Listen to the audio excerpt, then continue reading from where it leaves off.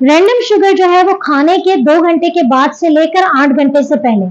खाने के दो घंटे के बाद से लेकर आठ घंटे से पहले पहले अगर आप जो शुगर चेक करेंगे, वो रैंडम शुगर होती है, जिसके लिए हम आइडियली कहते हैं कि आप खाने के दो घंटे के बाद एग्जैक्टली चेक कर लिया करें। खुदारा इससे पहले अपनी शुगर चेक करके उसको फास्टिंग शुगर का नाम मत दिया करें। या बॉर्डर लाइन के दहाने पे खड़े हुए हैं, यानी कि शुगर आपको हो सकती है लेकिन अगर आपने यहाँ कंट्रोल कर लिया तो आप पीछे भी जा सकते हैं।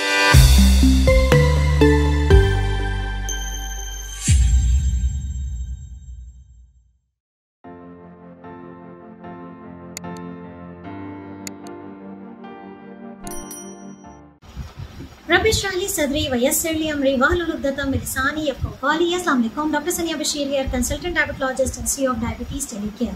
जब बात करते हैं हम लोग कि डायबिटीज़ टेलीकेयर आपको एजुकेशन केयर एंड प्रिवेंशन की सर्विसेज़ प्रोवाइड कर रहा है। कोशिश कर रहा है कि शुगर के मरीज़ अपने आप को आने वाले वक्तों की पेचीदगियों से बचा सकें। कोशिश करता है उन लोगों को कि जो हाई रिस्क कैंडिडेट्स हैं, वो अपने आप को डायबिटीज़ से बचा सकें। तो हमारी हर मुमकिन कोशिश होती है कि हम अपने डायबिटीज़ के पेशेंट्स को सही तरीके से एजुकेट करें। एक बड़ा ही कॉमनेस्ट क्वेश्चन मुझे आप लोगों की तरफ़ से सुनने को भी मिलता है और बाज़ अवत हमसे क्लिनिक पे भी लोग अक्सर एक ही सवाल पूछते हैं कि, मैडम शुगर होनी कितनी चाहिए? तो क्या आपका भी ये सवाल है, क्या आप भी कंफ्यूज हैं अभी तक कि आखिर ये शुगर नॉर्मल होती कितनी है? क्योंकि बाज़ लोग अक्सर अभी भी अपना इलाज सिर्फ़ इस वजह से नहीं कराते कि नहीं नहीं, हमारी शुगर ज़्यादा नहीं है।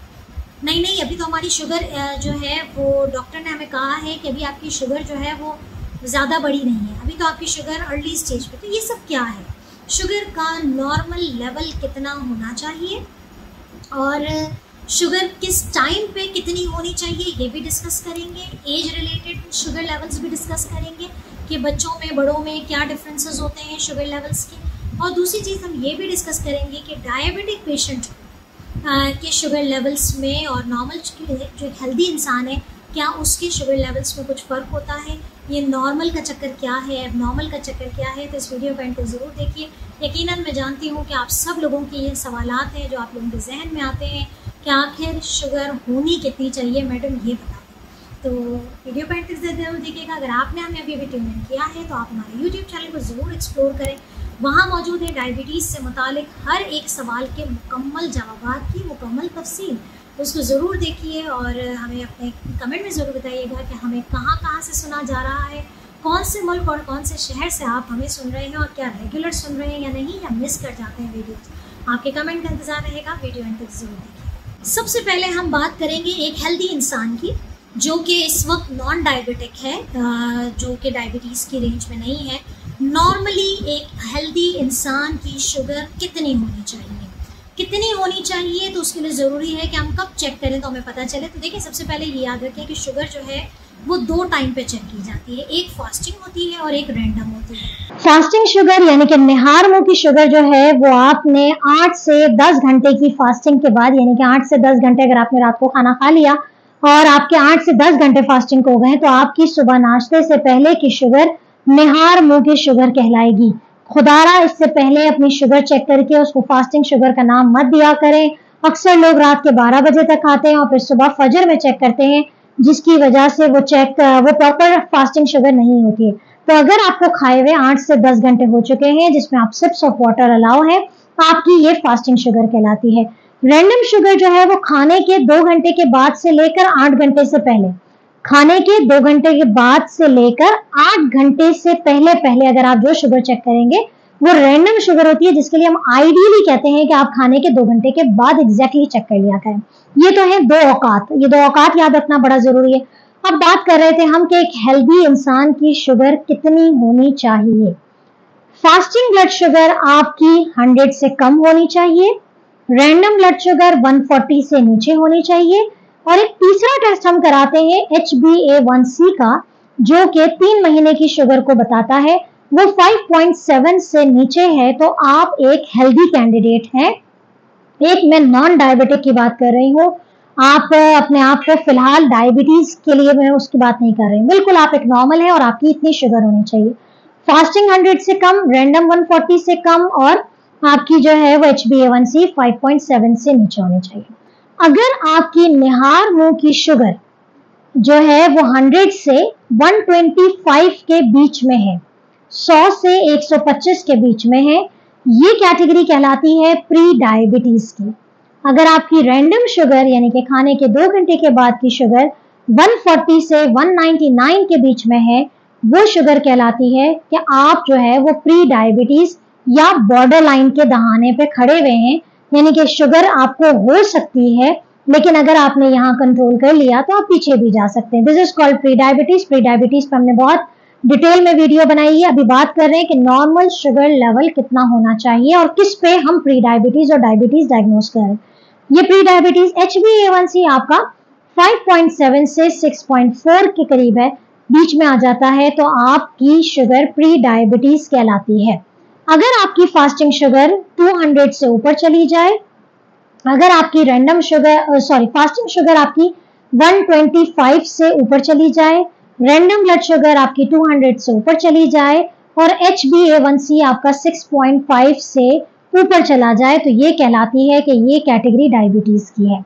डायग्नोसिस ऑफ़ द डायबिटीज़ सिर्फ़ एक वैल्यू पे नहीं होती है, हमेशा दो वैल्यूज़ ली जाती है।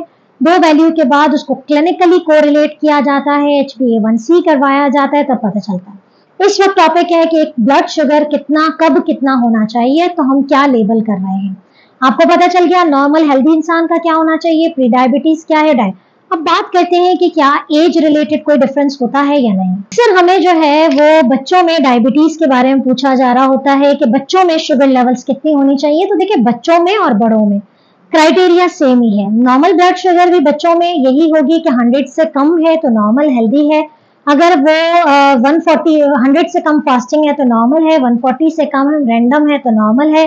और एच बी अगर आपने अपने बच्चे का करवा ही लिया है खास तौर पे वो बच्चे जिनके सिबलिंग्स में कोई टाइप वन का पेशेंट होता है तो वो दूसरे बच्चों का भी करवा लेते।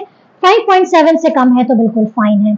इसी तरीके से उनके अंदर भी प्री डायबिटीज़ और डायबिटीज़ की जो डायग्नोस्टिक क्राइटेरिया है, वो बिल्कुल सेम है।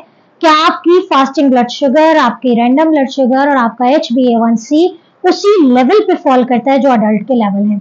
और उसी पे उसी वही तरीका है डायग्नोसिस का कि हम लेवल्स चेक करते हैं, दो रीडिंग्स लेते हैं, यानी कि आज ली है, दिन कल लेते हैं, दो कॉन्सिक्यूटिव रीडिंग्स होती हैं और फिर उसको कंफर्म किया जाता है H B A one C से और इसके साथ क्लिनिकल कोरिलेशन की जाती है।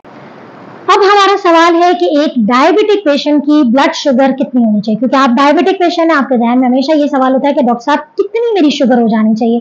देखिए, सबसे पहली बात तो यह है कि कस्टमाइज होता है।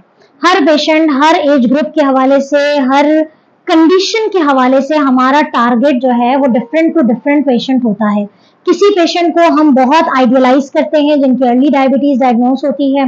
किसी पेशेंट को जो है, हम ओल्ड एज पेशेंट हैं तो उनके टारगेट्स हम बहुत ज़्यादा स्ट्रिक्ट नहीं रखते।